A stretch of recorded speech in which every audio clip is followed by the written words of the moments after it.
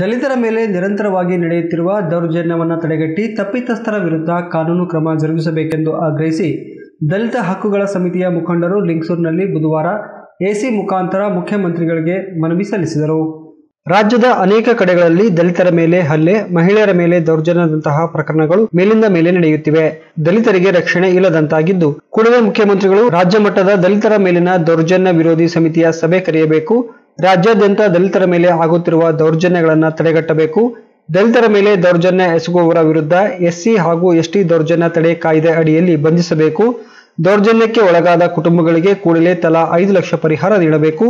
ಜಿಲ್ಲಾಧಿಕಾರಿಗಳು ಕೂಡಲೇ ಜಿಲ್ಲಾ ಮಟ್ಟದಲ್ಲಿ ದಲಿತರ ಮೇಲೆ ದೌರ್ಜನ್ಯ ವಿರೋಧಿ ಸಮಿತಿಗಳನ್ನು ಕರೆದು ಪರಿಶೀಲಿಸಿ ಕಾನೂನಾತ್ಮಕ ಕ್ರಮ ಕೈಗೊಳ್ಳಬೇಕು. ಎಸ್ಸಿ, ಎಸ್ಪಿ ಮತ್ತು ಟಿಎಸ್ಪಿ ಯೋಜನೆಯನ್ನು ಪುನರ್ ಮೌಲ್ಯೀಕರಿಸಿ ರೂಪಿಸಬೇಕು. ಅರ್ಹ ಬಡ ದಲಿತರಿಗೆ ನೇರವಾಗಿ ಆರ್ಥಿಕ ನೆರವು ನೀಡಬೇಕೆಂದು ಆಗ್ರಹಿಸಿದರು.